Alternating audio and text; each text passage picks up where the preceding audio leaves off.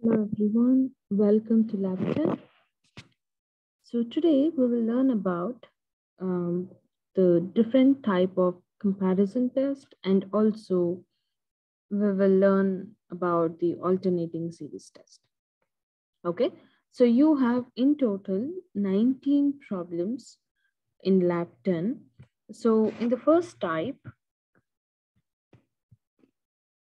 in the first type, you have to use comparison test first.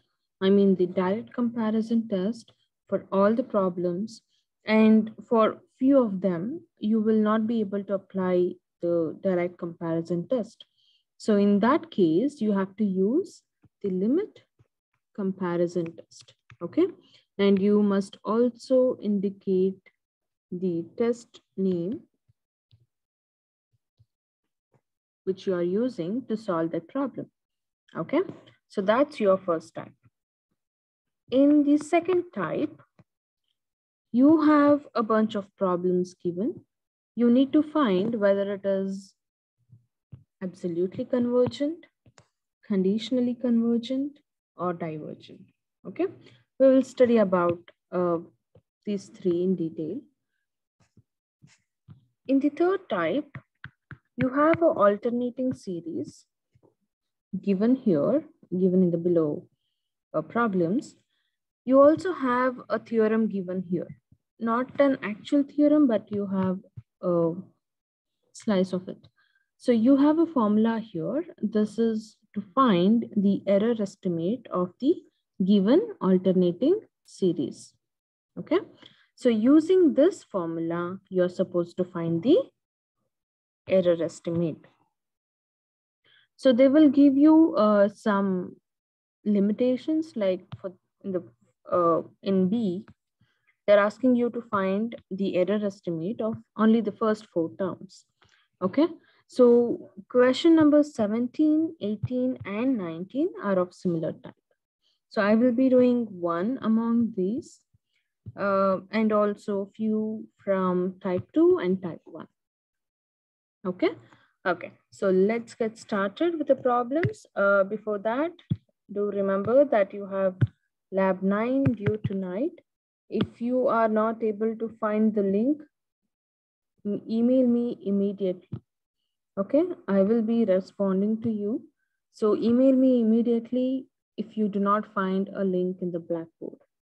If you are emailing me about this after the due date, I will not be considering your assignment. Okay. So be careful about that.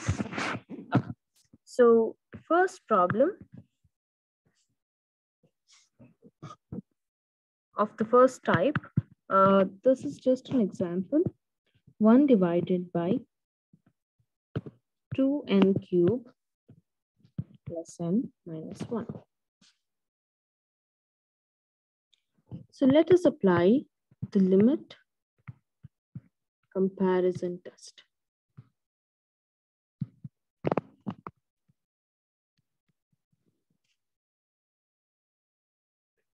So you know that, you know, right? Uh, in the limit comparison test, limit n tends to infinity, an by bn is what we need to find.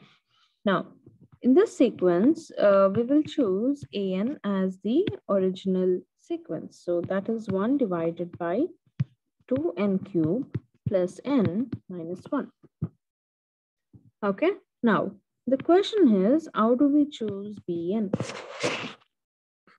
Now, the sequence bn follows the p series test.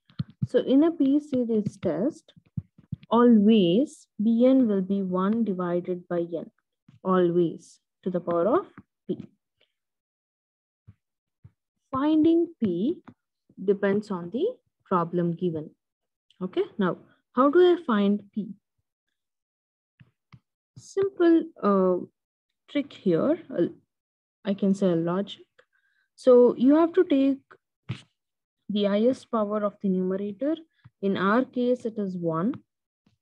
In the denominator, what which is the highest power? It is n cube, right? So I will divide it by n cube. So this is my Bn, where P is where P is 3. Okay, you need to divide the highest power of the numerator divided by lowest power of the uh, highest power of the denominator. Okay, term I can say highest power term. Now, now that we know what is an and bn, we will just divide those both and apply the limit.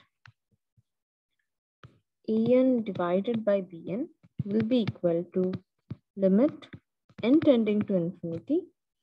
En is 1 divided by 2n cube plus n minus 1.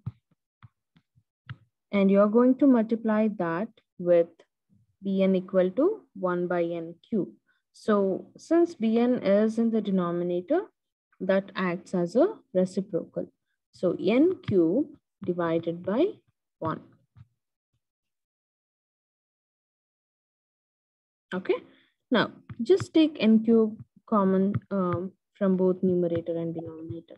So limit n tends to infinity, n cube divided by, I'll take n cube from the denominator. So I get 2 plus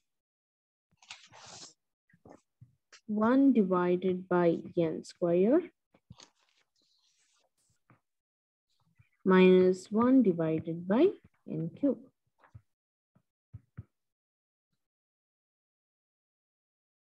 Okay, so these two get cancelled. Now, when you apply limit as n tends to infinity, these become zero, right? Because one over infinity is zero. Now, what is the leftover term? Leftover term is one over two.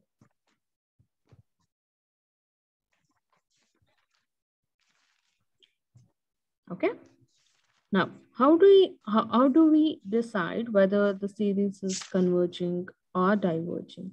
Now, remember, uh, I know that when we find a limit, it is converging to a finite number.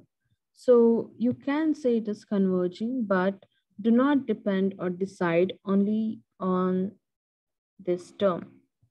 Mainly, we need to check whether Bn is converging or not.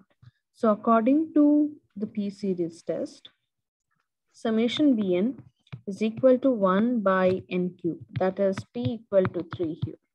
So if p is greater than 1, it will definitely converge. Now, according to comparison test, if Bn is converging, then An is definitely converging by the test name. Okay, that's how you have to solve for the first type.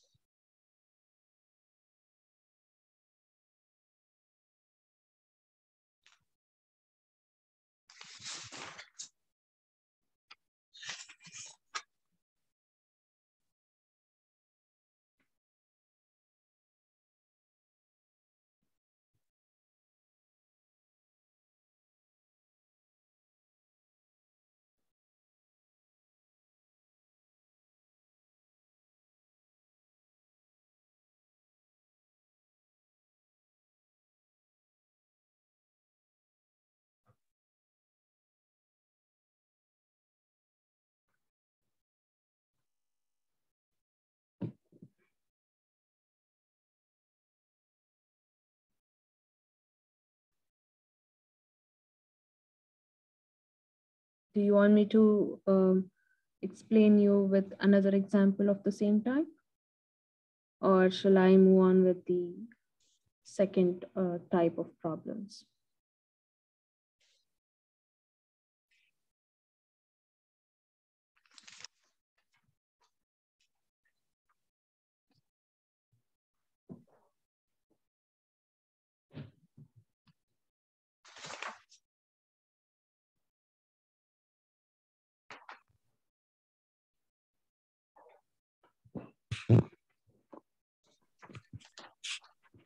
Okay, then I will move on with the second type.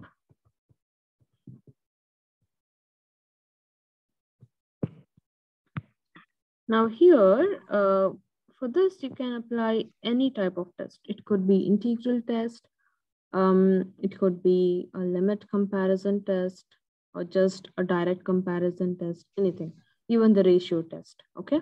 It depends on the problem. So let's see. Um,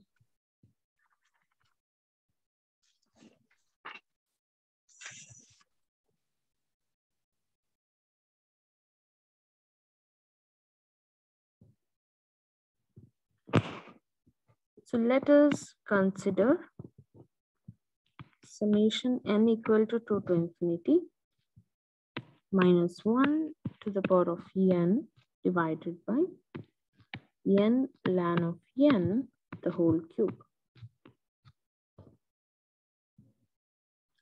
So I will be using integral test. We have uh, studied this in the previous lab. Now remember, to apply this test, a function or a series must be positive, continuous, and also decreasing, right? Okay, now let's see. Now when I say decreasing, if it is divided by one, it could, in the denominator, it could be anything. Let's say, let's take it as A. So A could be anything okay even if it is a very large number it is fine. So if it is divided by one then it is definitely decreasing.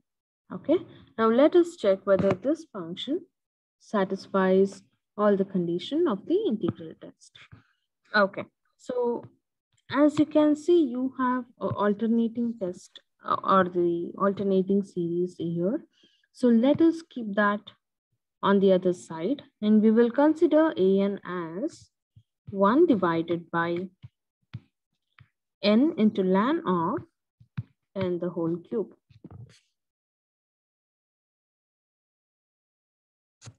Now this function is definitely positive, continuous, because why is it positive? That's because we are starting n from a positive number so it has to be positive. If you are starting from, let's say, negative 2, then this becomes negative 2 ln of negative 2, right? So you definitely have a negative number. Now, since we are starting from a positive number, we can say it is positive, continuous, and also decreasing. Why? Because it is divided by 1. Okay, now that I can apply a limit comparison test, now you can see the limit is from 2 to infinity.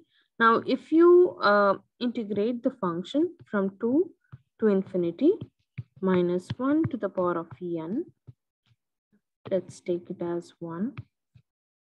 Let us omit the alternating series for now. Now, uh, this becomes an improper integral. So how do you solve improper integral? You, inter you introduce a limit and a variable t that is tending to infinity and then you integrate from 2 to t 1 divided by n ln of n the whole cube. Now here you can apply u substitution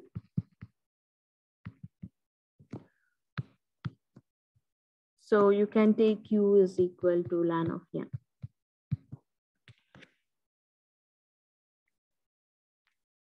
So you get limit t tends to infinity ln of 2. Limits change when you apply um, u substitution. So ln of t 1 divided by u cube into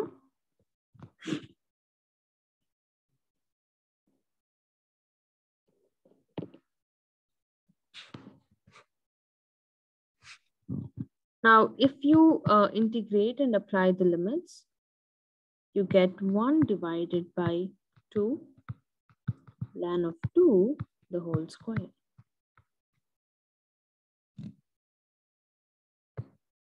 Okay, now as you have seen, when we apply the infinity limit here, we get a finite number.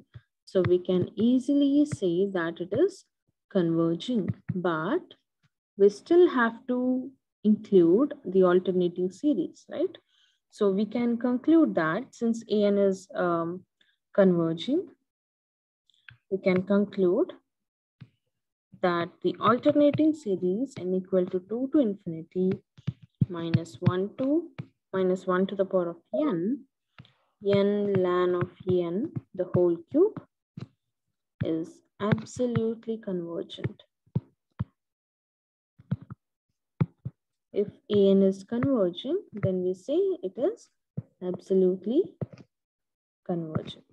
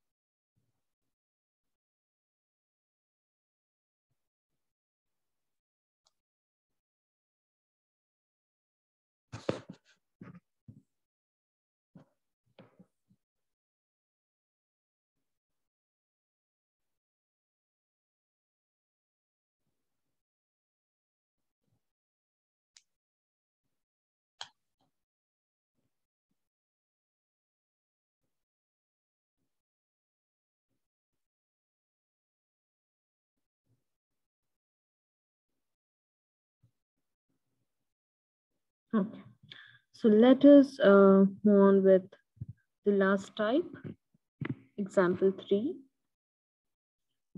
In example three, we need to find the error estimate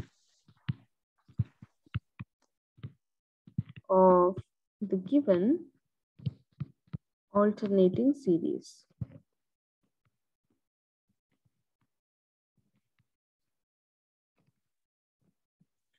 So let me um, explain this in the manual itself. Okay, so we have in total 17, 18, and 19. Okay, three problems for the third type. Now let me explain uh, the 19th type. Before that, I will give you a hint for 17. Okay, now you have a formula given here. Now the question is, you, you also have alternating series given. Okay, this is the problem, 17th problem. Now they're asking you, you just have to expand the alternating series error estimate, alternating series error estimate for the first four terms. Okay, so you need to write the error estimate for the first four terms. Observe the formula.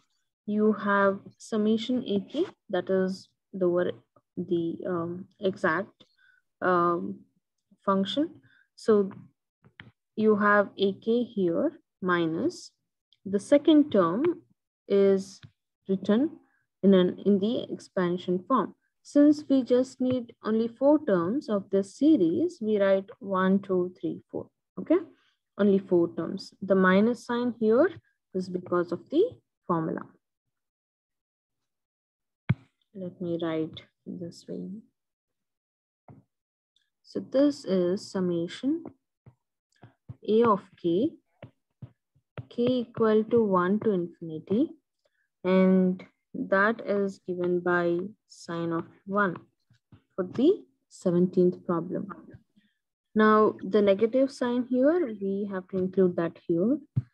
Now the second term is summation k equal to 1 to n a of k and 1, let me use the other color,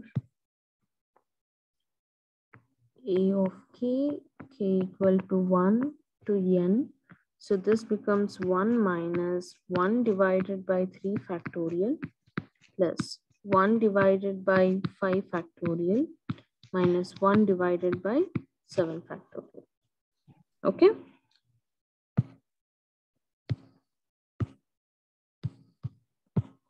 Now, all we have is the last term, an plus 1. That's what we need to find. Got it? Now, here in the B, they want you to find out the actual difference. That is, you just have to do this in the calculator. Subtract sine of 1 with the numbers given here. When I say the factorial, uh, you can you have this uh, symbol in the calculator, so you can use easily do, but this is what the factorial sign means. If they are asking you to find 3 factorial, that is 3 into 2 into 1. Okay. And if it is 4 factorial, you just keep on expanding 3 cross 2 cross 1. So this is like a product. 5 factorial is 5 into 4 into 3 into 2 into 1. Okay? That's what factorial means.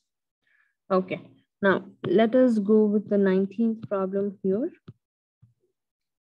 In the, likewise with the 17th problem, you need to find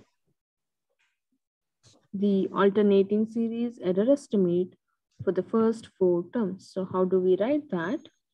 With absolute sign following the formula 1 over E minus, you just have to write whatever there in the problem. So you need first four terms, you have one, two, three, four, right? So that is going to be 1 minus 1 plus 1 by 2 factorial minus 1 by 3 factorial. That's it. And this has to be less than an plus 1.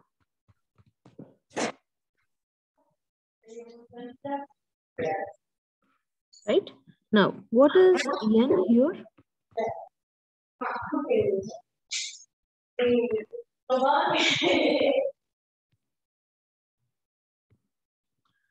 So what is n here? n is equal to 4 right? Because we have first four terms, so n is equal to 4. But an plus 1 will be equal to a 4 plus 1, that is a to the power of 5 or a5. Agree? Now, what is the fifth term in the sequence? The fifth term will be equal to, any guess? So you have a1, a2, let me write it you have A1, A2, A3, A4. What is A5? What is the fifth term? What do you think it will be?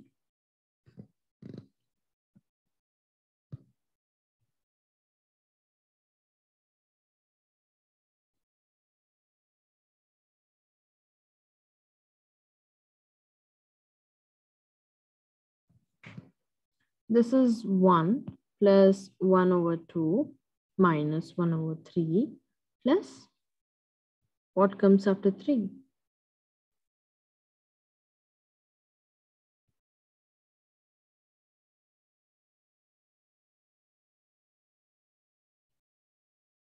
If no one answers this question, then I will assume that everyone is sleeping.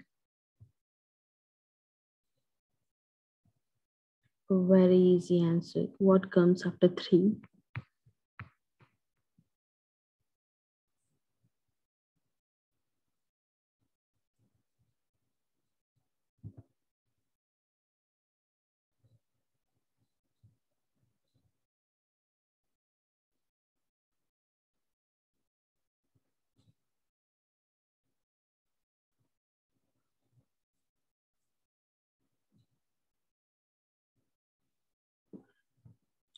Well, I have to teach you one, two, three, four first then. Okay, so the answer is one by four factorial. Okay, that will be the fifth term in the given alternating series. Okay, that's A. And what about B? So B is of same, uh, a similar type, but they want you to find for the first 20 terms. Now, you don't have to write all of them. Uh, you can write in this way. 1 over E, that's the first term in the whole sequence, minus bracket, you can just write S20. That will mean it is, it is having till 20, okay? You, you can just write as S20. If you have 25 given here, then you will just write 25. Just to, uh, just not to write everything and mess up. So it's better to know, give a notation to that. Now this will be less than 1 over 20 factorial.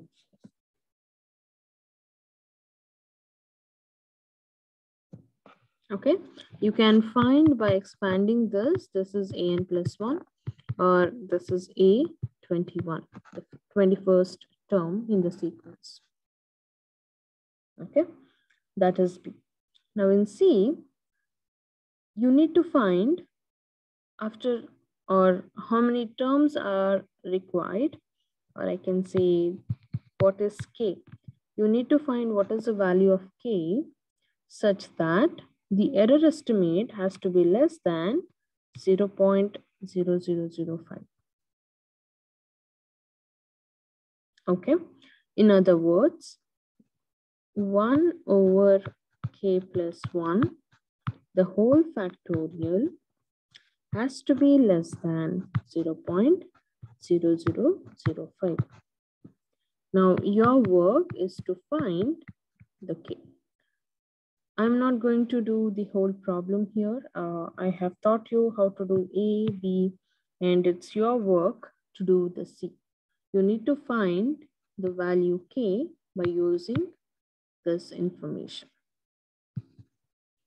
Okay, so that is all about your lab 10.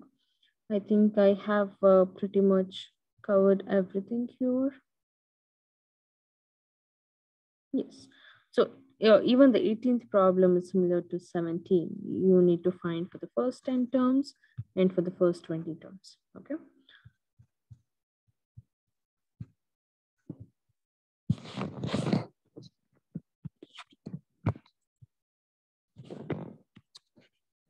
I think, um, yes. So this is all about lab 10. Um, so make sure um, you complete or you at least attempt for all the problems, okay? Do not leave anything blank. Just try to, uh, I mean, just try to uh, make an attempt on solving the problem. So I have explained you with uh, two examples. So for the first type, you can use any comparison test. In the second type, you can use any um, test to show it as convergent or divergent. And for the third type, you have a formula given. You need to find uh, the error estimate for the um, given terms, even for the first four terms or maybe like the first 20 terms likewise. Okay, so you have in total 19 problems and again, no MATLAB code. Okay, all I need is the detailed hand calculations. Do not just write the problem and the answer or, or some of them are even, um, they are just writing like a theory do not do that. You need to explain in detail with the steps. Okay, that's uh, that's how I can grade it. Because your lab, each and every lab is for 100 total points. So you need to explain in detail each and every problem. So that will complete lab 10. If you have any questions, uh, you can stay on Zoom. If not, uh, we can meet in the next week.